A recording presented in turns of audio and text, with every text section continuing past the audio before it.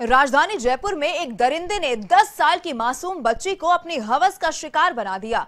छठी कक्षा में पढ़ने वाली ये बालिका अपने परिजनों के साथ सगाई समारोह में शरीक होने आई थी और जहाँ आरोपी ने इस बच्ची को बहला फुसला कर इस वारदात को अंजाम दिया। फ़िलहाल बालिका का जेकेलॉन अस्पताल में उपचार चल रहा है और जहाँ उसकी हालत खतरे से बाहर बताई जा रही है।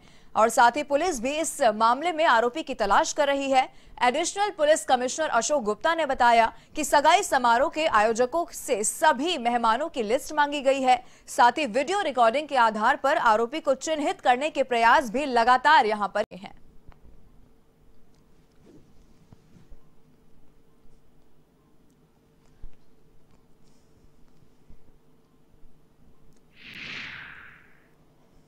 समारोह था।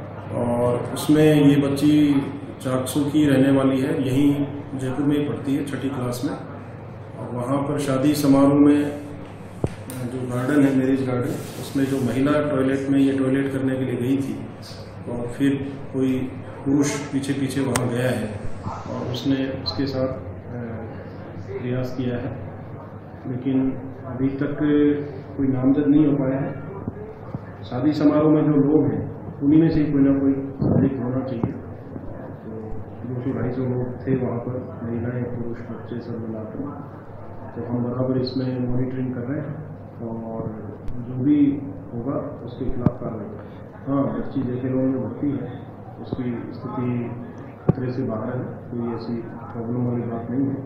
मेरी भी वहाँ बात हुई, देखे लोग हॉस्पिटल में तो बच्चे की स्थिति ठीक है।